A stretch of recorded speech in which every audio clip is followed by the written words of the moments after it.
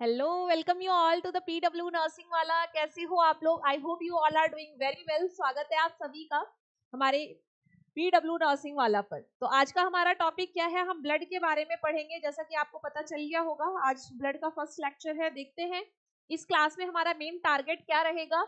हम about the blood पढ़ेंगे। Important point about the blood components of the blood blood में कौन कौन से कंपोनेंट होते हैं और इनका प्रोडक्शन कैसे होता है? और प्रोडक्शन ऑफ़ ब्लड इसको हम बोलते हैं क्या है?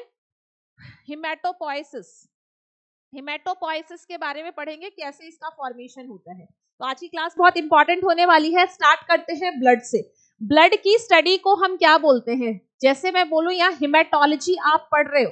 मीन्स आप क्या पढ़ रहे हो? किस चीज़ की स्टडी कर रहे हो? It is a scientific study of the blood haematology का मतलब क्या है? It is a scientific study of study of blood blood की आप साइंटिफिक स्टडी कर रहे हो और अगर मैं बात करूँ फादर की, सबसे पहले जिन्होंने ब्लड के बारे में बताया था, उसकी खोज की थी, उसी को फादर बोलते हैं।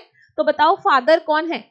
फादर ऑफ़ हिमेटोलॉजी किसे बोला जाता है? फादर ऑफ़ हिमेटोलॉजी ये हम बोलते हैं William William Hewson is called as the father of haematology यहीं पे पूछ लिया जाता है कि बताओ सिस्टेमिक सर्कुलेशन के बारे में किसने बताया था? सिस्टेमिक सर्कुलेशन के बारे में किसने बताया था? ये इसीलिए जानना ज़रूरी है, क्योंकि यहाँ पे आप कंफ्यूज हो जाते हैं विलियम हार्वे और विलियम ह्यूसन में तो विलियम हार्वे ने किसके बारे में बताया था, डियर? विलियम हार्वे ने बताया था सिस्टेमिक सर्कुलेशन के बारे में। तो प्लीज़ कंफ्यूजन नहीं रखें। फादर ऑफ़ हिमेटोलॉजी किसको बोलते हैं? विलियम ह्यूसन को बोलते हैं। और हिमेटोलॉजी में हम क्या करते हैं? स्टडी ऑफ़ ब्लड करते हैं। अगर मैं ब्लड की बात करूँ तो ब्लड एक तरह से क्या है? It is a life line for living ये हमारा क्या है? लाइफ लाइन फॉर लिविंग हमारे ज़िंदा रहने के लिए। ये जो खून का लाल रंग है, ये जो ब्लड है, ये बहुत ज़्यादा ज़रूरी है। लाइफ लाइन फॉर लिविंग सबसे पहली लाइन में मैंने बताया है। और ब्लड सेल टिश्यू के चैप्टर में टिश्यू के चैप्टर में आपने पढ़ा था कि हमारे पास एक स्पेशलाइज टिश्यू होता है जिसमें दो कैटेगरी होती है। उसमें एक का नाम क्या होता है? Liquid connective tissue yes blood कैसा टिश्यू है? Blood is called as a liquid connective tissue इस ब्लड को हम क्या बोलते हैं? Blood is called blood is called as liquid connective tissue ये हमारा कैसा है डियर ये लिक्विड कनेक्टिव टिश्यू है। कैसा है? लिक्विड कनेक्टिव टिश्यू क्लियर है जी? कैसा है हमारा लिक्विड कनेक्टिव टिश्यू है? ठीक है? कैसा फ्लूड है? ये हमारा आइसोटोनिक फ्लूड है। कैसा फ्लूड है? आइसोटोनिक फ्लूड है। अब कुछ जनरल कैरेक्टरिस्टिक्स जो ब्लड के बारे में हम पढ़ लेते हैं। जनरल कैरेक्टरिस्टिक्स की बात करूँ तो बताओ इसका पीएच क्या होता है? 7.35 टू 7.45 होता है। एक चूज़ करना हो 7.40 करेंगे। अगर मैं इसे टेम्परेचर की बात करूँ तो one degree Fahrenheit higher than normal body temperature higher than normal body temperature normal body temperature जितना हमारा होता है 98.6 तो ये हमारा 99.6 डिग्री फ़ारेनहाइट हमारे ब्लड का टेम्परेचर होगा। ठीक है? कितना होगा? 99.6 डिग्री फ़ारेनहाइट हमारे ब्लड से, हमारे बॉडी के टेम्परेचर से वन डिग्री फ़ारेनहाइट इसका टेम्परेचर क्या होता है? ज़्यादा होता है। नेक्स्ट पॉइंट में मैं बात करूँगी कि बताओ इसका पीएच हो गया वॉल्यूम कितना होता है? एक पर्सन में कितना ब्लड जो है वो प्रेजेंट होता है। तो वॉल्यूम ऑफ़ द ब्लड अगर इसके विस्कोसिटी की बात करें तो कितना ज़्यादा विस्कस होता है? मीन्स आपको पता है, हम वाटर से कंपेयर करें तो वो कितनी दूर तक जाता है, वो उसकी विस्कोसिटी है। अगर मैं बात करूँ स्पेसिफिक ग्रेविटी की तो बताओ कितना स्पेसिफिक ग्रेविटी होता है इसका? स्पेसिफिक ग्रेविटी कितना होता है? और अगर मैं इसकी बात करूँ ऑस्मोलैरिटी की तो इसकी ऑस्मोलैरिटी कितनी होगी, ये आपको बताना है। तो ये कुछ इंपॉर्टेंट पॉइंट ब्लड के कैरेक्टरिस्टिक्स है, जो कि हम यहाँ पे पढ़ रहे हैं। तो वॉल्यूम कितना होता है? एक नॉर्मल पर्सन में मेल में थोड़ा ज़्यादा होगा in comparison to the female अगर वॉल्यूम ऑफ़ ब्लड की बात करें तो मेल में ज़्यादा होता है in comparison to the female आप बोलते हो 5.5 टू 6 लीटर फ्लूड टोटल हमारे ब्लड में होता है। ठीक है, और फीमेल की बात करें तो वही 500 टू 700 का डिफरेंस होगा। तो आप बोलोगे 4.5 से लेकर 5.5 लीटर फ्लूड किसमें होगा? फीमेल में होगा। ठीक है तो मेल और फीमेल में थोड़ा सा डिफरेंस जो है वो रहता है। समझ में आ गया? Viscosity five time more viscous than water more viscous than water water से फाइव टाइम्स मोर विस्कस होता है। अगर स्पेसिफिक ग्रेविटी की बात करें तो बताओ स्पेसिफिक ग्रेविटी एक में बोलूँ तो 1.060 अलग अलग बुक में अलग अलग वेरिएशन मिल सकता है। ये आपको 1.0 फाइव टू से लेकर सिक्स सेवन तक या सिक्स सेवन तक लिखा हुआ रहता है। बट आप एक याद रखो, इसी के आसपास आपको दूसरी वैल्यू मिलेगी। वेरिएशन हर जगह होता है। ऑस्मोलैरिटी की बात करूँ तो 294 मिली ऑस्मोल पर लीटर ठीक है, और फिर से मैं वेरिएशन की बात करूँ, इसमें आता है तो ये 245 से लेकर 375 मिली ऑस्मोल पर लीटर इसके बीच में ये रेंज दिया जाता है। एक आपको सेलेक्ट करना है 294 मिली ऑस्मोल पर लीटर ये क्या बताया मैंने? Is the general characteristics of the blood it's a general characteristics of the blood इसमें क्वेश्चन पूछ लिया जाता है, एक ह्यूमन एक पर्सन जो है, उसकी बॉडी में ये ब्लड कितना परसेंट होगा? उसके पूरे टोटल बॉडी वेट का कितना परसेंट होता है? तो blood seven to eight percent of total body weight total body weight उस पर्सन के टोटल बॉडी वेट का सात से आठ परसेंट वेट जो होता है, वो ब्लड का वेट होता है। देख लिया आपने? तो ये चीज़ एक पॉइंट आप याद रखोगे। क्वेश्चंस कभी कभी पूछ लिया जाता है, कितना एम एल पर के ऑफ़ बॉडी वेट होता है। एक जो एडल्ट पर्सन होता है, ये क्वेश्चन आया हुआ है, कितना percent of total body weight होता है तो हम बोलते हैं एट्टी एम पर के ऑफ़ बॉडी वेट पर के ऑफ़ बॉडी वेट क्या होता है? ब्लड होता है। समझ में आ रहा है? किसका पूछा जाएगा तो एडल्ट का पूछा जाए। एडल्ट का पूछा जाए, न्यूबॉर्न का पूछा जाए, आप ये आंसर कर सकते हो, ठीक है? न्यूबॉर्न का पूछा जाए, एडल्ट का पूछा जाए, ये आंसर कर सकते हो। उसमें लिक्विड कितना होता है? ब्लड में दो टाइप के टिश्यू, जैसे लिक्विड होता है और सेलुलर पार्ट होता है तो उस ब्लड में लिक्विड कितना होता है? तो ऑलमोस्ट हाफ़ हाफ़ होता है। आप प्लाज्मा 55 परसेंट और जो सेल वाला पार्ट होता है, वो 45 परसेंट कहते हो, इसलिए उसका आंसर क्या जाता है? उस क्वेश्चन का आंसर जाता है 40 एम एल पर के जी ऑफ़ बॉडी वेट। ये क्या होता है? फ्लूड तो दोनों क्वेश्चन समझ में आया? मैंने क्या क्वेश्चन लिखा है? यहाँ पे मैंने क्वेश्चन लिखा है, एटी एम एल पर के जी ऑफ़ बॉडी वेट किसका होता है? ब्लड का होता है। और इस ब्लड में लिक्विड का कितना होता है? 40 एम एल पर के जी ऑफ़ बॉडी वेट। तो इस ब्लड के अंदर लिक्विड इतना होगा, टोटल ब्लड पूछा जाएगा तो एटी एम एल पर के जी ऑफ़ बॉडी वेट होगा। चलो भाई छोड़ो। नेक्स्ट आते हैं। यहाँ पे सारी चीज़ें हम जनरल करेक्टरिस्टिक्स के बारे में समझ चुके हैं। ब्लड के कंपोजिशन की बात करते हैं और ब्लड के कंपोजिशन को देखें तो यहाँ पे हम देख सकते हैं ब्लड में क्या होता है डियर लिक्विड पार्ट होता है एंड सेलुलर पार्ट होता है। ये क्या है? ये है liquid part of the blood और ये क्या है? Cellular part of the blood तो हमने देखा किसको? कंपोजिशन ऑफ़ ब्लड को। तो कंपोजिशन ऑफ़ ब्लड में हमें दिखा liquid part and cellular part अब इसको भी हम डिवाइड करेंगे और इसको समझेंगे कि ये क्या कहना चाह रहा है। ये जो लिक्विड पार्ट होता है, इसे हम क्या बोलते हैं? प्लाज्मा और प्लाज्मा कितना परसेंट होता है? 55 परसेंट होता है। ठीक है, अगर मैं सेलुलर पार्ट की बात करूँ तो यहाँ पे सेलुलर पार्ट कितना परसेंट होता है? 45 परसेंट होता है। और ये सेलुलर पार्ट तीन पार्ट से हम पढ़ते हैं कि हमारे पास सेलुलर पार्ट क्या क्या है? सॉरी आरबीसी है। RBC, WBC and platelets RBC, WBC and platelets है। ठीक है? आरबीसी को हम क्या बोलते हैं? एरिथ्रोसाइट एरिथ्रोसाइट डब्ल्यूबीसी को हम क्या बोलते हैं? ल्यूकोसाइट ठीक है? प्लेटलेट्स को क्या बोलते हैं? थ्रोम्बोसाइट बेसिक चीज़ें बता रही हूँ। आज ही क्लास बिल्कुल बेसिक वाली क्लास है, जिसमें बिल्कुल ज़ीरो से सारी चीज़ें मैं बता रही हूँ। क्या क्या बताया मैंने आपको? आरबीसी के बारे में बताया। आरबीसी होगा, डब्ल्यूबीसी होगा और प्लेटलेट्स होगा, जिसे हम क्या बोलते हैं? एरिथ्रोसाइट, ल्यूकोसाइट एंड थ्रोम्बोसाइट बोलते हैं।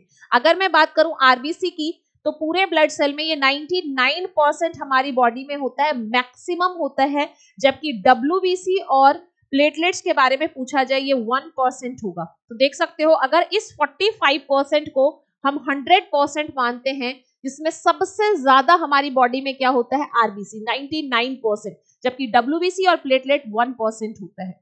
ठीक है? ये जो आरबीसी होता है, इसका काम क्या होता है? ट्रांसपोर्टेशन ऑफ़ गैसेस करता है, जबकि डब्ल्यूबीसी क्या करता है? हमारी बॉडी में इम्यूनिटी इम्यून रिस्पॉन्स करता है। और प्लेटलेट क्या करता है? ब्लड क्लॉटिंग में हेल्प करता है। एक तरह से क्लॉटिंग फैक्टर हमारा है। ठीक है? तो किसमें हेल्प करेगा? क्लॉटिंग में ब्लड क्लॉटिंग में। तो यहाँ तक की चीज़ें आपके बात समझ में आ गई सेलुलर पार्ट की। फिर हम आते हैं प्लाज्मा पे। प्लाज्मा 55 परसेंट है। प्लाज्मा में भी और कंटेंट होते हैं। मीन्स हम इसको फर्दर डिवाइड करते हैं प्लाज्मा को। तो हमारे पास क्या प्रेजेंट होता है डियर लिक्विड प्रेजेंट होता है। मीन्स हम वाटर की बात कर लेते हैं कि इसमें कितना वाटर होता है। लिक्विड ना लिखकर मैं इसमें क्या लिख दूँगी? इसमें वाटर कितना कंटेंट होगा? और इसके अंदर प्लाज्मा प्रोटीन्स होता है और अदर सब्सटेंसेस होते हैं। क्या होता है डियर इसे हम बोलते हैं प्लाज्मा प्रोटीन प्लाज्मा प्रोटीन। और क्या होगा? अदर सब्सटेंसेस याद रखना, जब तक आप बेसिक्स नहीं समझोगे, तब तक एडवांस या हाई लेवल के क्वेश्चंस नहीं कर सकते। और एग्ज़ाम में इजी लेवल के क्वेश्चंस और बहुत इजी पॉइंट भी पूछ लिया जाता है। ठीक है? अभी जो मैंने क्वेश्चन इससे पहले वाली स्लाइड में लिखा था कि बताओ ब्लड का कंटेंट टोटल बॉडी वेट का कितना होगा 80 एम और 80 एम पर के ऑफ़ बॉडी वेट और उसमें लिक्विड कितना होगा? 40 एम पर. ये एम्स का आया हुआ क्वेश्चन है जो मैंने लिख के आपको बताया है. तो देख लो कितने बेसिक से कहाँ से क्वेश्चन पूछा जाता है. ऐसा नहीं है कि ऐसी चीज़ें आपको बता दी गई है. वो जो भी पॉइंट लिखा हुआ है क्वेश्चन के फॉर्म में आपको बताया गया है. ये जो वाटर होता है, ये 92 परसेंट होता है. अगर मैं प्लाज्मा प्रोटीन की बात करूँ तो 7.1 से लेकर 7.3 परसेंट हमारा प्लाज्मा प्रोटीन होता है. अगर हम 55 परसेंट इसको 100 परसेंट मान के फिर डिवाइड कर रहे हैं तो इसमें प्लाज्मा में 92 percent water 7.1 to 7.3 percent plasma protein and other substance की अगर मैं बात करूँ तो 0.7 परसेंट अदर सब्सटेंसेस होते हैं। अभी भी हुआ नहीं है, क्योंकि प्लाज्मा प्रोटीन को भी हम देखेंगे, ये जो प्लाज्मा प्रोटीन होते हैं, इसके भी अलग अलग डिफरेंट डिफरेंट प्रोटीन्स होते हैं। तो कौन कौन से प्रोटीन्स होते हैं, इसको भी आप यहीं पे लिख लोगे और इसी फ्लो चार्ट में सारी चीज़ें मैं आपको बता दूँगी। तो in the form of flow chart आपके रिवीजन में भी ये आपको सबसे ज़्यादा हेल्प करने वाला है। प्लाज्मा प्रोटीन हमारा कौन सा हो गया डियर एल्व्यूमिन ठीक है? दूसरा कौन सा होता है? ग्लोब्यूलिन और तीसरा कौन सा होता है? प्रोथॉम्बिन या फिर आप क्या बोलते हो? फिब्रीनोजन क्या बोलते हो डियर फिब्रीनोजन जो कि हमारा क्या है? एक क्लॉटिंग फैक्टर है। अगर मैं बात करूँ इस ग्लोब्यूलिन की तो ये भी डिफरेंट डिफरेंट होते हैं। कौन कौन सा होता है डियर एल्फा होता है बीटा होता है और गामा होता है। यही गामा क्या फॉर्म करता है? हमारा इम्यूनोग्लोबुलिन आईजीएएमडी ठीक है? और ये जो अल्फ़ा है और ये बीटा है, ये कहाँ पे फॉर्म होता है? लीवर इसका फॉर्मेशन करने में हेल्प करता है। ये कौन फॉर्म करता है? लीवर समझ में आ रहा है? और अगर इसके परसेंटेज की बात करूँ तो इसका परसेंटेज भी लिख लेना। याद, सबसे ज़्यादा इनमें क्या होता है? एल्ब्यूमिन होता है। फिर आपका ग्लोब्यूलिन होगा और फिर आपका फिब्रिनोजन होगा। परसेंटेज लिखेंगे 0.3 परसेंट आपका फिब्रिनोजन होता है। 0.3 परसेंट आपका फिब्रिनोजन होता है। अगर मैं ग्लोबुलिन की बात करूँ तो यहाँ पे लिख देती हूँ मैं ग्लोबुलिन ठीक है? ये आपका होता है 2.7 परसेंट आपका क्या होता है? ग्लोबुलिन होता है और 4.1 टू 4.3 परसेंट आपका क्या होता है? ये आपका एल्ब्यूमिन होता है, ठीक है? 4.2 टू 4.3 परसेंट आपका क्या हो जाएगा? 4.2 से लेकर 4.3 परसेंट ये आपका एल्ब्यूमिन हो जाएगा। समझ में आ रहा है? तो 4.1 से 4.3 परसेंट हमारा एल्ब्यूमिन है 2.7 परसेंट हमारा ग्लोबुलिन है और 0.3 परसेंट हमारा हमारा फिब्रिनोजन है। तो ये किसका कंपोजिशन बताया है? ब्लड का, जिसमें लिक्विड पार्ट और सेलुलर पार्ट प्लाज्मा एंड इसमें आरबीसी, डब्ल्यूबीसी और प्लेटलेट्स के बारे में पढ़ा है। तो इसी स्लाइड में मैंने सारी चीज़ें आपको बता दी हैं। प्लाज्मा के बारे में, प्लाज्मा प्रोटीन्स के बारे में, एल्ब्यूमिन, ग्लोबुलिन और फिब्रिनोजन के बारे में। जो एल्ब्यूमिन होता है, ये क्या करता है? ऑनकॉटिक प्रेशर को मेंटेन करने में हेल्प करता है। काम देखेंगे एल्ब्यूमिन का। ये क्या करता है? एल्ब्यूमिन हमारे ऑनकॉटिक प्रेशर को मेंटेन करता है। मेंटेन द ऑनकॉटिक प्रेशर अगर किसी पर्सन में एल्ब्यूमिन की कमी हो जाए अगर किसी पर्सन में एल्ब्यूमिन की कमी हो जाए, उसकी वजह से क्या होता है? अरे, क्या हो रहा है भाई इसको? ठीक है ऑनकॉटिक प्रेशर तो क्या ऑनकॉटिक प्रेशर नहीं मेंटेन होगा और उसको क्या हो जाएगा? स्वेलिंग हो जाएगा एडीमा हो जाएगा। समझ में आ रहा है? किसकी वजह से? क्योंकि उसकी बॉडी में एल्ब्यूमिन कम है। यही हमारी बॉडी में ऑनकॉटिक प्रेशर को मेंटेन करता है। जो ग्लोबुलिन होता है, ये इस तरह से हमारी बॉडी में इम्यूनिटी प्रोवाइड करता है। ग्लोबुलिन क्या करता है? हमारी बॉडी में हमें इम्यूनिटी प्रोवाइड करने में हेल्प करता है। ये हमें इम्यूनिटी प्रोवाइड करता है ठीक है? जितने भी आप इम्यूनोग्लोबुलिन का फॉर्मेशन पढ़ते हो ये हमारा जो गामा ग्लोबुलिन होता है मेनली क्या करता है? इम्यूनोग्लोबुलिन को सिक्रीट करने में हेल्प करता है। आईजीए, आईजीएम, आईजीडी, आईजीई सारे टाइप के ठीक है? तो मेनली इम्यूनिटी प्रोवाइड करने का काम करेगा। और फिब्रिनोजन की बात करूँ तो ये हमारे किसमें हेल्प करता है? ब्लड क्लॉटिंग में हेल्प करता है। क्योंकि एक तरह का क्या है? क्लॉटिंग फैक्टर किसमें हेल्प करेगा? ब्लड क्लॉटिंग में ठीक है? तो ये हमारा फिब्रिनोजन क्या है? क्लॉटिंग फैक्टर ब्लड क्लॉटिंग में हेल्प करता है। तो सारी चीज़ें आपको समझ में आ गई। सारी चीज़ें इस स्लाइड में ऑलमोस्ट मुझे लग रहा है अदर सब्सटेंसेस की बात करूँ। देखो, आप सोच रहे हो कि यहाँ पे अदर सब्सटेंसेस भी लिखा है, इसमें क्या होता है? तो इस अदर वाटर तो आपको पता ही है 92 परसेंट है, ज़्यादा वाटर है। अदर सब्सटेंसेस के अंदर अगर आपका आता है, जैसे आपका कार्बोहाइड्रेट है नाइट्रोजिनस वेस्ट है, ये सारी चीज़ें इसमें आती है। नाइट्रोजिनस वेस्ट हो गया, कार्बोहाइड्रेट हो गया, गैसेस हो गए, यूरिक एसिड हो गया, ये सारी चीज़ें एक्सेट्रा सारे वेस्ट जितनी भी चीज़ें हैं, ये सब अदर सब्सटेंसेस के अंदर आएगा। आपका नाइट इनऑर्गेनिक सब्सटेंस भी आप लिख सकते हो सोडियम है पोटेशियम है क्लोराइड है कैल्शियम है मैग्नीशियम है एक्सेट्रा एक्सेट्रा एक्सेट्रा सारी चीज़ें। ठीक है? समझ में आ गया? तो ये पूरा का पूरा कंपोजिशन ऑफ़ ब्लड मैंने आपको समझा दिया है। अब हम एक बात करेंगे एक एक red red blood cell white blood cell and platelets को यहाँ पे डिस्कस करेंगे। तो सबसे पहले हम रेड ब्लड सेल के बारे में पढ़ लेते हैं, क्योंकि ये रेड ब्लड सेल हमारी बॉडी में 99 परसेंट देख लो सेलुलर पार्ट में है और यही सबसे ज़्यादा इंपॉर्टेंट काम कर रहा है। क्या? वैसे तो सबका अपना इंपॉर्टेंट काम होता है। ट्रांसपोर्टेशन ऑफ़ गैसेस ये ट्रांसपोर्टेशन ऑफ़ गैसेस का काम करते हैं। और अगर मैं बात करूँ शेप ऑफ़ आरबीसी कैसा होता है साइज़ ऑफ़ आरबीसी कितना होता है नंबर ऑफ़ आरबीसी कितना होता है, इसका लाइफ स्पैन कितना होता है और स्ट्रक्चर ऑफ़ आरबीसी कैसा होता है। तो एक ही जगह हम स्ट्रक्चर बना लेते हैं, जिससे इसके सारे क्वेश्चंस के आंसर हो जाएँगे। ये हमारा क्या है? आरबीसी है। आप बोलोगे, ये कैसा आरबीसी है? सच में बहुत पिचका सा आरबीसी बन गया है, ठीक है? ये हमारा क्या है?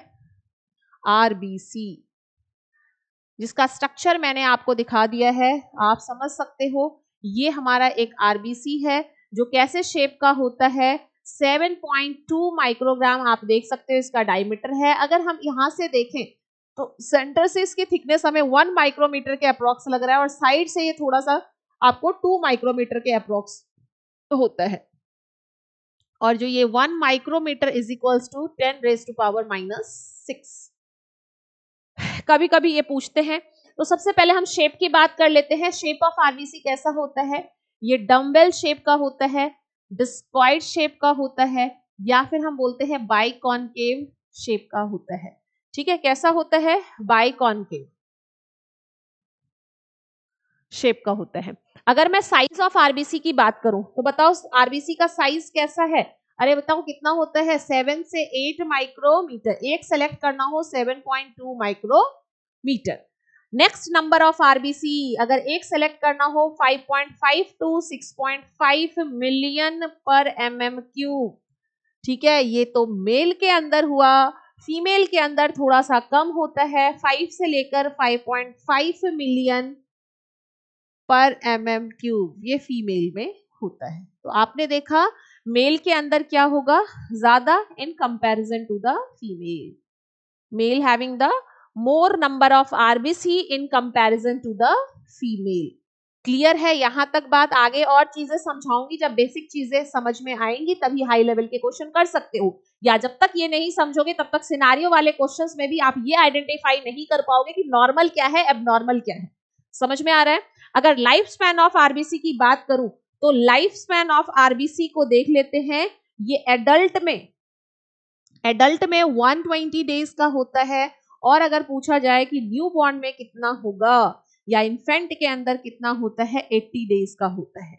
In the paediatric class also आपने इसके बारे में पढ़ा होगा। ठीक है? एडल्ट और न्यू बॉर्न दोनों में आपको पता चल गया कि लाइफ स्पैन आरबीसी का कितना है। सिर्फ़ 120 दिन तक ही ये ज़िंदा रहेंगे। एडल्ट की अगर बात करें तो structure of RBC structure of RBC आपके सामने ही है, आपने देख लिया है कैसे शेप का, कैसा स्ट्रक्चर इसका होता है। लेकिन एक चीज़ और याद रखना है स्ट्रक्चर के अंदर कि इसमें ना तो माइट्रोकॉन्ड्रिया होता है और ना ही इसके अंदर न्यूक्लियस होते हैं। तो हम क्या लिखेंगे? न्यूक्लियस क्योंकि न्यूक्लियस सबसे बड़ा सेल ऑर्गेनिल्स था। And mitochondria absent mitochondria absent in RBC RBC में ना तो न्यूक्लियस होता है और ना ही माइट्रोकॉन्ड्रिया कितना सोच समझ के बनाया है। माइट्रोकॉन्ड्रिया को रखते तो वो खुद ऑक्सीजन का यूज़ कर लेता और बाकी ट्रांसपोर्टेशन में गैसेस कम हो जाते। इसीलिए इसके अंदर से माइट्रोकॉन्ड्रिया को हटा। मीन्स ये कैसे होते हैं? ए न्यूक्लिएटेड होते हैं। ठीक है, इनमें न्यूक्लियस नहीं होता है। तो यहाँ तक आरबीसी के बारे में आपको सारी चीज़ें समझ में आ गई। आई थॉट मुझे लगता है आपको चीज़ें क्लियर हो गई होंगी। आरबीसी, एक आरबीसी के अंदर 280 मिलियंस ऑफ़ हीमोग्लोबिन होता है। One RBC molecules contain 280 millions of haemoglobin of haemoglobin molecules ठीक है भाई? चलो, आगे बात करते हैं। हिमेटोपोइसिस से पहले थोड़ा सा हीमोग्लोबिन के बारे में देख लेंगे। किसके बारे में? हीमोग्लोबिन के बारे में। ये जो हीमोग्लोबिन होता है, ये दो पार्ट से मिलके बना होता है। ठीक है? क्या होता है डियर हीमोग्लोबिन दो पार्ट से मिलके बना होता है। एक हीम पार्ट होता है और ग्लोबिन वाला पार्ट होता है। हीम और ग्लोबिन, ये कैसा है हमारा रेस्पायरेटरी पिगमेंट इसी की वजह से ब्लड का कलर रेड होता है और उसके अंदर भी देखेंगे। It is a respiratory pigment ठीक है? हीमोग्लोबिन रेस्पायरेटरी मेटालो प्रोटीन होता है। मेटेलिक पार्ट और प्रोटीन पार्ट से मिलके बना होता है। और ये जो हीम वाला पार्ट होता है, इसे ही हम बोलते हैं मेटेलिक पार्ट मेटेलिक पार्ट बोलते हैं और ग्लोबिन को हम बोलते हैं कौन सा पार्ट है? ये प्रोटीन पार्ट है। कौन सा पार्ट है? प्रोटीन पार्ट है। तो यहाँ तक चीज़ें समझ में आई। हीम क्या है? मेटेलिक पार्ट है और ग्लोबिन क्या है? प्रोटीन पार्ट है। जो मेटेलिक पार्ट होता है, वो दो टाइप से बना होता है और जो प्रोटीन पार्ट है, वो भी दो टाइप से। आप बोलोगे अच्छा ऐसी बात है तो देख लेते हैं भाई क्या है। मेटेलिक पार्ट की बात करो तो हीम, बताओ जरा बताओ जरा हीम में कौन सा होगा?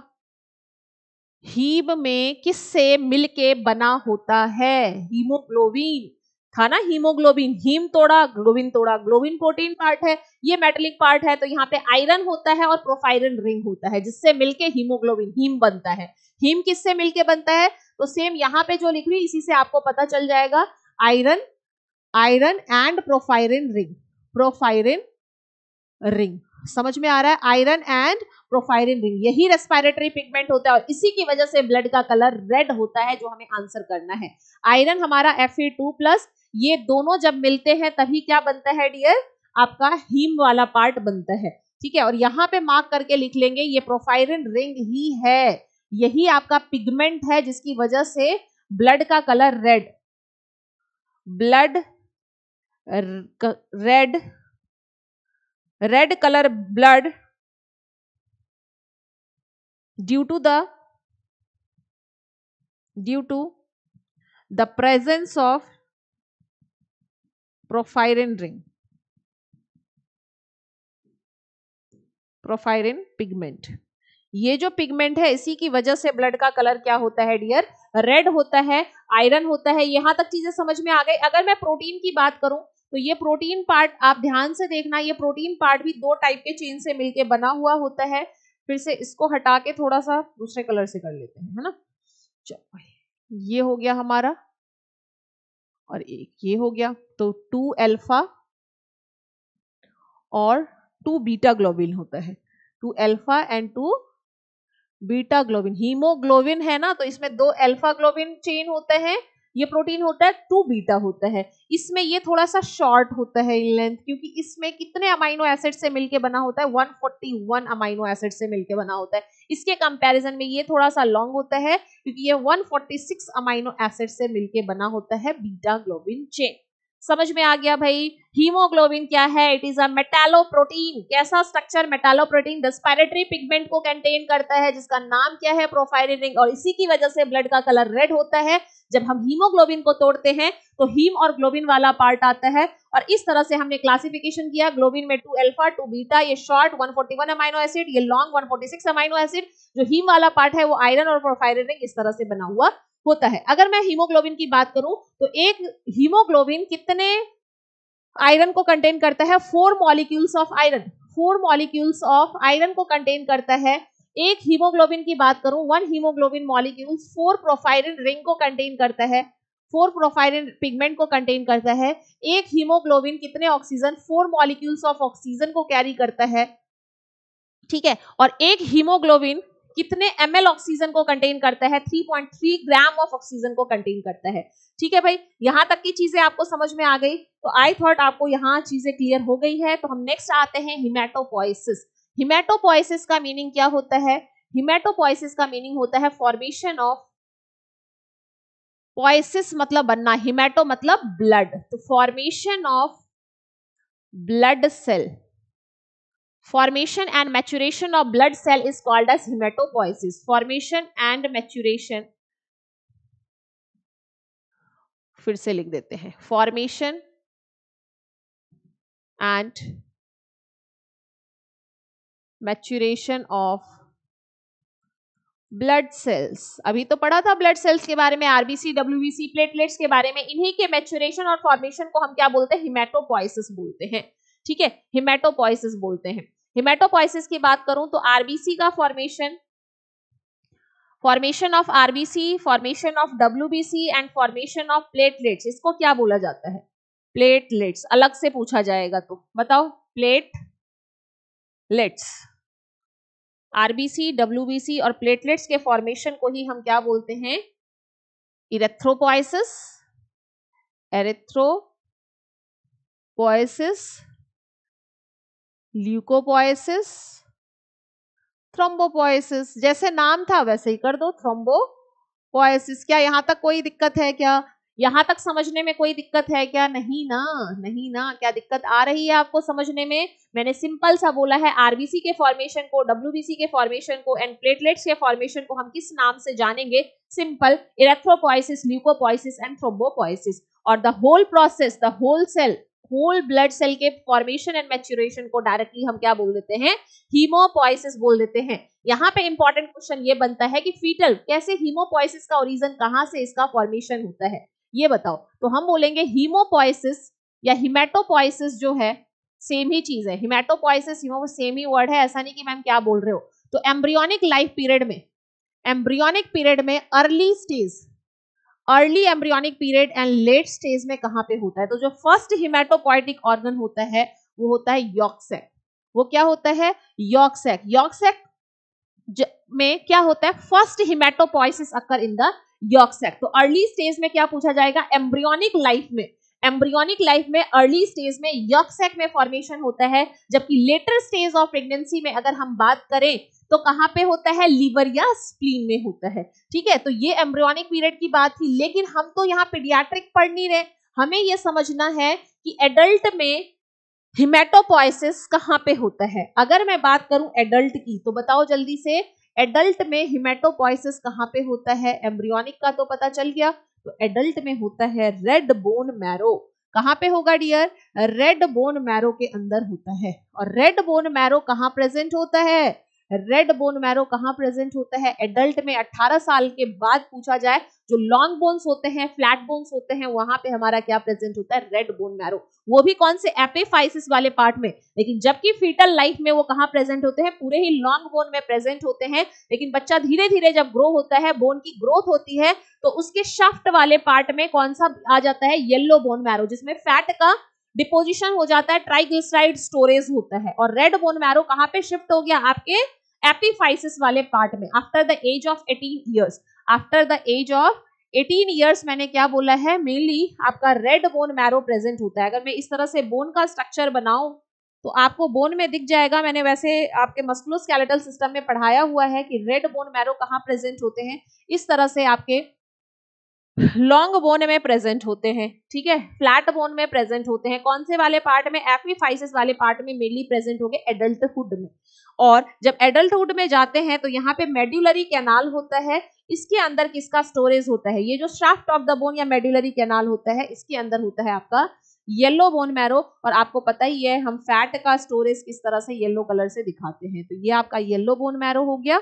और जो इसके एपिफाइसिस वाले पार्ट में प्रेजेंट है, ये आपका रेड बोन मैरो हो गया। ठीक है? रेड बोन मैरो ही किसका फॉर्मेशन करता है? ब्लड सेल का फॉर्मेशन ब्लड सेल्स का फॉर्मेशन करता है। ठीक है भाई? येलो बोन मैरो में क्या होता है? तो आप बोलोगे फैट का स्टोरेज होता है या फिर ट्राइग्लिसराइड जो ये ट्राइग्लिसराइड होते हैं, इसका भी स्टोरेज फैट का स्टोरेज ट्राइग्लिसराइड का स्टोरेज कहाँ पे होता है? येलो बोन मैरो में होता है। चलो भाई, यहाँ पे क्या होते हैं? स्टेम सेल्स भी प्रेजेंट होते हैं। यहाँ पे हमारे क्या होते हैं? रेड बोन मैरो में हम बोलते हैं। हमारे स्टेम सेल्स ही किसमें स्टेम सेल्स ही हमारे ब्लड सेल को फॉर्म करने में हेल्प करते हैं। पहले ये कैसे होते हैं? अनकमिटेड फिर committed reported haematopoietic stem cells होते हैं, जिससे किसका फॉर्मेशन होता है? ब्लड सेल का फॉर्मेशन होता है। तो होता कहाँ है? ये क्वेश्चंस भी क्लियर हो गया। आगे बढ़ते हैं और एक चीज़ सबसे पहले हम क्या पढ़ेंगे? हिमेटोपोइसिस पढ़ लेते हैं और इरेथ्रोपोइसिस का मैं बताऊँगी, जो ये इरेथ्रोपोइसिस होता है, उसमें फॉर्मेशन में तो पाँच दिन, लेकिन मैच्यूरेशन में क्या लग जाता है? मैच्यूरेशन में टाइम लग जाता है दो दिन का। तो यहाँ तक haematopoiesis in the embryonic life period and in adulthood आपको पता चल गया कहाँ पे होगा। ठीक है? चलो फिर आगे बढ़ते हैं और नेक्स्ट स्लाइड पे चलते हैं। नेक्स्ट तो कह रहा है थैंक यू अभी बड़ी जल्दी खत्म हो गया। चलो हिमेटोपोइसिस खत्म किए बिना कैसे हो सकता है? हिमेटोपोइसिस हिमेटोपोइसिस चलो भाई हिमेटोपोइसिस आ जाओ। जल्दी जल्दी से बताओ। ऑलरेडी आपने पढ़ रखा होगा। जल्दी से फास्ट रिवीजन कर लेते हैं हिमेटोपोइसिस का। हिमेटोपोइसिस में formation of all blood cell हमने बोला कहाँ से होता है? प्ल्यूरीपोटेंट प्ल्यूरीपोटेंट हिमेटोपोइटिक पहले एक बार पूरा लिख लेते हैं। Haematopoietic stem cells stem cells हम ये देख रहे हैं कि रेड बोन मैरो में कैसे हिमेटोपोइसिस होता है? तो सबसे पहले मैंने बोला प्लूरिपोटेंट जो कि अनकमिटेड होते हैं, फिर कमिटेड होते हैं। ये कैसे हो जाएँगे? Uncommitted pluripotent haematopoietic stem cell से ये कैसे बन जाते हैं? Committed pluripotent haematopoietic stem cell short form में मैंने पीएचएससी लिखा है। बाद में ये मत बोलना कि मैंने आपने कहीं पीएचसी लिखा था। आपने एक बार पीएचसी लिखा था, क्या बता सकते हो उस पीएचसी का मीनिंग क्या है? अरे भाई, समझा के तो लिख रही हूँ वीडियो में आवाज़ भी तो होती है। लिखने के साथ साथ तो समझ सकते हो ना? प्लूरीपोटेंट हिमेटोपोइटिक स्टेम सेल्स इसी को मैंने क्या लिखा P H S C pluripotent haematopoietic stem cells ठीक है? तो इसको अभी पी एच एस सी ही यूज़ करेंगे। इस पी एच एस सी से क्या बनता है? जल्दी से बताओ। प्लूरीपोटेंट हिमेटोपोइटिक स्टेम सेल्स बना, फिर committed pluripotent haematopoietic stem cells बना, इससे बनते हैं दो चीज़ें। अभी से याद ही रखना है आपको। क्या बनता है जल्दी बताओ? प्लूरीपोटेंट जो हिमेटोपोइटिक स्टेम सेल्स होते हैं। मैंने क्या बताया यहाँ पे? प्लूरीपोटेंट हिमेटोपोइटिक स्टेम सेल्स इससे क्या बना? Committed pluripotent haematopoietic stem cells इससे दो सेल्स बनते हैं। एक माइलॉइड सेल्स बनता है, एक माइलॉइड सेल्स बनता है, एक आपका बनता है लिम्फॉइड सेल्स क्या बनता है डियर लिम्फॉइड सेल्स बनते हैं। तो आपने देखा इस तरह से committed pluripotent haematopoietic stem cells दो टाइप में डिवाइड हुआ myeloid cell and lymphoid cells इस लिम्फॉइड सेल से क्या बनता है? इस लिम्फॉइड सेल से बनता है आपका B lymphocyte B lymphocyte and T lymphocyte in T lymphocyte इसके बारे में थोड़ा सा देखेंगे। जो बी लिम्फोसाइट और टी लिम्फोसाइट मैंने बताया है, इससे बी लिम्फोसाइट से किसका फॉर्मेशन होता है? ये जो बी लिम्फोसाइट होता है ये आपके रेड बोन मैरो में, याद रखना बोन मैरो में ही बनता है, आपके बोन मैरो में ही इसका फॉर्मेशन होता है बोन मैरो में ही फॉर्मेशन भी होता है एंड मैच्यूरेशन भी होता है मैच्यूरेशन भी होता है, ये बोन मैरो में ही बी लिम्फोसाइट का बी से याद रखना बी से भी ट्रिक है बी का बी से ट्रिक याद रख सकते हो बोन मैरो में ही फॉर्मेशन भी होता है और मैच्योरेशन भी होता है किसका? बी लिम्फोसाइट का बट अगर मैं बात करूँ टी लिम्फोसाइट का। देखो, मैंने एल लिम्फोसाइट लिख दिया है हाँ इसको टी कर लेना। ये टी लिम्फोसाइट है। एल बी और टी लिम्फोसाइट ठीक है? बी और टी लिम्फोसाइट है। अब इस लिम्फोसाइट की टी लिम्फोसाइट की बात करूँ तो इसका फॉर्मेशन कहाँ पे होता है? इसका फॉर्मेशन तो बोन मैरो में होता है बट इसका मैच्यूरेशन कहाँ होता है? याद रखना, इसका मैच्यूरेशन होता है थाइमस ग्लैंड में। फॉर्मेशन कहाँ हुआ? फॉर्मेशन कहाँ हुआ? बोन मैरो में। फॉर्मेशन कहाँ हुआ, डियर? बोन मैरो में। लेकिन इसका मैच्यूरेशन कहाँ पे होता है? थाइमस ग्लैंड के अंदर। तो टी से कैसे याद रखेंगे? टी से मैंने बताया, टी लिम्फोसाइट। मैचुरेशन कहाँ पे हुआ? थाइमस ग्लैंड में। टी से थाइमस ग्लैंड हुआ। तो इस तरह से आप लिम्फॉइड सेल से बनने वाले लिम्फोसाइट को, B lymphocyte and T lymphocyte को याद कर सकते हो। अब हम बात करेंगे इस माइलॉइड सेल से क्या बनता है। ये जो माइलॉइड सेल लिखा है, इसको नेक्स्ट स्लाइड में कर ले तो ज़्यादा अच्छा रहेगा। इसमें कॉलोनी फॉर्मिंग यूनिट्स बनते हैं, ठीक है? इसमें क्या होते हैं? इस माइलॉइड सेल का देख लेते हैं भाई, क्या होता है माइलॉइड सेल का? माइलॉइड सेल्स इससे बनते हैं हमारे colony forming unit short form में सी एफ़ यू लिख दू, ठीक है? इससे हमारे क्या बनते हैं? कॉलोनी फॉर्मिंग यूनिट्स बनते हैं। फॉर्मिंग यूनिट्स, इस कॉलोनी फॉर्मिंग यूनिट से क्या होता है? तीन टाइप के सेल्स हमारे बनते हैं। C F E M G M ठीक है? तो आप सोच रहे हो क्या बोल रहे हो ma'am? Colony forming units E बनता है, कॉलोनी फॉर्मिंग यूनिट्स एम बनता है और यहाँ पे colony forming units G M बनता है। आप बोलोगे, क्या इसका नाम भी है? सी एफ़ यू का तो हमें पता है कि इस सी एफ़ यू से होता है कॉलोनी फॉर्मिंग यूनिट लेकिन इस ई से क्या होता है? इससे होता है इरेथ्रोसाइट बनेगा. इससे बनेगा डियर इरेथ्रोसाइट लेकिन डायरेक्टली नहीं बन जाता है. इससे रेटिकुलोसाइट बनता है प्रिकर्सर सेल्स बनते हैं early late and intermediate normoblast बनते हैं, फिर रेटिकुलोसाइट बनता है, फिर उस रेटिकुलोसाइट का मैच्योरेशन होता है. देन आपका बनता है मैच्योर इरेथ्रोसाइट या फिर आप बोलते हो आरबीसी का फॉर्मेशन हुआ तो देखो कितने सारे स्टेप्स होते हैं। से भी क्वेश्चन पूछा जाता है और इससे कॉलोनी फॉर्मिक यूनिट ये आपका कौन सा है? एम एम से क्या याद रखोगे? क्या बनता है? मेगा कैरियोसाइट मेगा कैरियोसाइट इस मेगा कैरोसाइट से क्या बनता है? आपका प्लेटलेट्स बनता है। और नेक्स्ट हम बात करेंगे, ये जो colony forming units granulocyte monocyte होता है जीएम इसे हम क्या बोलते हैं?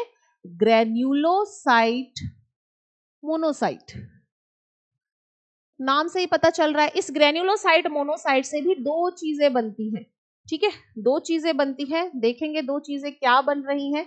ग्रेन्यूलोसाइट मोनोसाइट से एक तो आपका बनता है मोनोब्लास्ट और बनता है माइलोब्लास्ट क्या बनता है डियर माइलोब्लास्ट।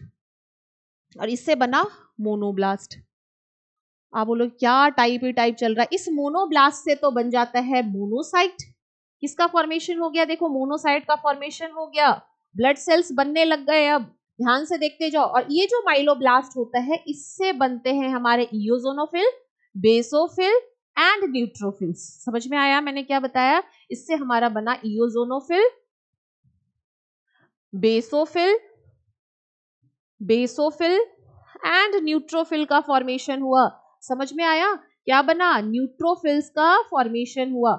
ये है हमारे पूरे ब्लड सेल का फॉर्मेशन हो गया। ठीक है, आपने देखा कैरी कॉलोनी फॉर्मिंग यूनिट्स जीएम जिसे ग्रेनुलोसाइट मोनोसाइट हम बोलते हैं, उससे दो चीज़ें जीएम से दो चीज़ें बनती है माइलोब्लास्ट एंड मोनोब्लास्ट जो मोनोब्लास्ट होता है, उससे तो मोनोसाइट बनता है, लेकिन जो माइलोब्लास्ट होता है, उससे इोसोनोफिल बेसोफिल एंड न्यूट्रोफिल्स का फॉर्मेशन होता है। तो आप देख सकते हो, इस इरेथ्रोसाइट का फॉर्मेशन जिसे हम क्या बोलते हैं आरबीसी का फॉर्मेशन हो गया मेगा कैरियोसाइट हमने क्या बोला प्लेटलेट्स को बनाया। इसने किस चीज़ को बनाया? प्लेटलेट्स को बनाया। तो इस तरह से ब्लड के सारे सेल्स का फॉर्मेशन हो गया है। यहाँ पे हम इसको एक बार अंडरलाइन कर लेते हैं, जिससे हमें समझने में कोई दिक्कत ना हो। हमने देखा यहाँ पे क्या बना? बी लिम्फोसाइट और हमारा टी लिम्फोसाइट का फॉर्मेशन हुआ। ठीक है भाई? किससे लिम्फोइड सेल से बी और टी लिम्फोसाइट बन गए। नेक्स्ट स्लाइड पे अगर हम चले तो हमने बोला यहाँ पे आरबीसी का फॉर्मेशन इलेक्ट्रोसाइट का, यहाँ पे प्लेटलेट का फॉर्मेशन हो गया। सारे ब्लड सेल्स को मैं इस डब्बे से अंडरलाइन कर रही हूँ, जिससे आपको समझने में कोई दिक्कत ना हो। यहाँ पे हमारा क्या बन गया? यूजोनोफिल्स बन गया। ठीक है? यहाँ पे हमारा बेसोफिल्स का फॉर्मेशन हो गया। और यहाँ पे हमारा न्यूट्रोफिल्स का फॉर्मेशन हो गया। ठीक है भाई? समझ में आ रहा है? और यहाँ पे हमारा क्या हो गया? मोनोसाइट का भी फॉर्मेशन हो गया है। ठीक है? तो आपने देखा, ये पूरा प्रोसेस मैंने आपको बताया कि इसका हिमेटोपोइसिस का पूरा प्रोसेस आपने समझ लिया। इस तरह से हमने पूरे ब्लड सेल को फॉर्म कर दिया, चाहे वो आरबीसी हो, चाहे वो डब्ल्यूबीसी के टाइप हो, चाहे वो प्लेटलेट्स हो। समझ में आ रहा है? फिर मैंने बोला, जो इरेथ्रोपोइसिस होता है, उसको थोड़ा सा समझना है, क्या है ये इरेथ्रोपोइसिस इरेथ्रोपोइसिस के अंदर क्या होता है? इरेथ्रोपोइसिस में सबसे पहले जो आपने देखा कॉलोनी फॉर्मिंग यूनिट्स ई होते हैं।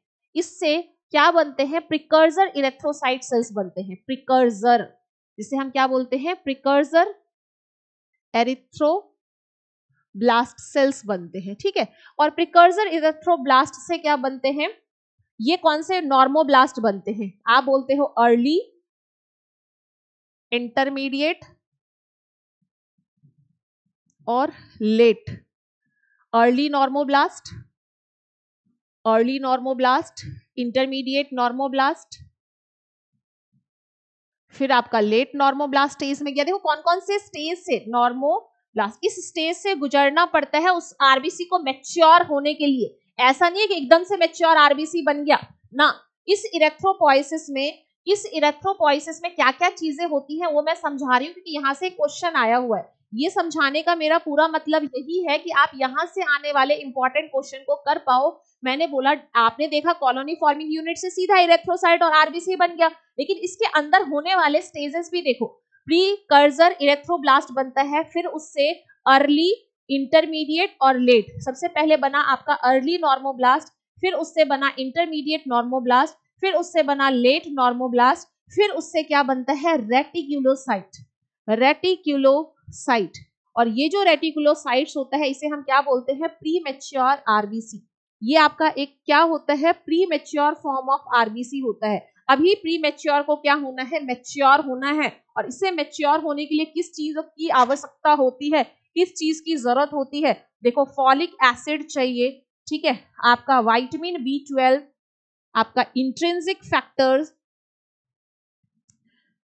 ठीक है? ये सारे मिलके इस रेटिकुलोसाइट को क्या कर देते हैं? मैच्योर कर देते हैं। और आप बोलते हो मैच्योर इरेक्ट्रोसाइट एरिथ्रोसाइट का फॉर्मेशन हो गया है, मेच्योर आरबीसी।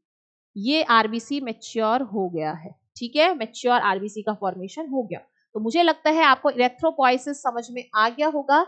एक चीज़ याद रखना, इरेथ्रोपोइसिस इस आरबीसी के फॉर्मेशन में, ठीक है? आरबीसी को फॉर्म होने में कितना टाइम लगता है? आरबीसी के प्रोडक्शन में, आरबीसी के फॉर्मेशन में और उसके मैच्यूरेशन में कितना टाइम लगता है, ये भी थोड़ा याद रखना। तो उसके फॉर्मेशन में लगता है पाँच दिन का टाइम फाइव डेज़ और उसके मैच्यूरेशन में कितना टाइम लगता है टू डेज़ का टाइम लगता है। तो अगर कभी क्वेश्चन पूछा जाता है, कभी भी आपसे ये क्वेश्चन पूछा जाता है कि आरबीसी के फॉर्मेशन में पाँच दिन, आप बोलोगे मेच्योर आरबीसी के फॉर्मेशन में मीन इमेच्योर से मेच्योर होने में दो दिन का टाइम लगता है, और आरबीसी का प्रोडक्शन कंप्लीट कंप्लीट आरबीसी के प्रोडक्शन में पूरे सात दिन का टाइम लगता है सेवन डेज़ क्योंकि उसे पाँच दिन तो फॉर्म होने में लगेगा और दो दिन उसे मेच्योर होने में लगेगा. टोटल कितने डेज़ टोटल कितने डेज़ लगेंगे? टोटल सेवन डेज़ का टाइम लगेगा. अगर पूछा जाता है आरबीसी का प्रोडक्शन कितने दिन में होता है? सात दिन में होता है. लेकिन 120 दिन बाद फिर से वो क्या हो जाता है? डिस्ट्रॉय हो जाता है. तो आरबीसी डिस्ट्रॉय कहाँ पे होता है? आरबीसी का डिस्ट्रक्शन कहाँ पे होता है? आरबीसी का डिस्ट्रक्शन होता है स्प्लीन में. स्प्लीन में इसका क्या हो जाता है? Destruction that's why spleen is called the graveyard of RBC इसीलिए इसे क्या बोलते हैं? ग्रेवयार्ड ऑफ़ आरबीसी कब्रिस्तान. इसीलिए बोला जाता है। तो ब्लड के बारे में इंपॉर्टेंट सारी चीज़ें मैंने आपको समझा दी है। आई थॉट मुझे लगता है आपको सारी चीज़ें क्लियर हो गई होंगी। आरबीसी का फॉर्मेशन डब्ल्यूबीसी का फॉर्मेशन प्लेटलेट का formation the whole process is called that hematopoiesis जो मैंने समझा दिया है इरेथ्रोसाइटोसिस मींस इरेथ्रो साइट को आरबीसी को फॉर्म होने में जो टाइम लगता है टोटल सात दिन का लगता है। किस प्रोसेस से होता है? इंटरमीडिएट उसके अंदर कौन कौन से प्रोसेस चलते हैं, वो मैंने आपको बता दिया है। इसके अलावा हमने ब्लड के बारे में नॉर्मल कंपोजिशन और उसके जनरल कैरेक्टरिस्टिक्स के रिगार्डिंग आज की क्लास में बात की है। तो आई थॉट मुझे लगता है इसका फास्ट फ़र्स्ट पार्ट आपको अच्छे से समझ में आ गया होगा। मिलते हैं फिर नेक्स्ट क्लास में, तब तक के लिए बाय टेक केयर इस क्लास में बस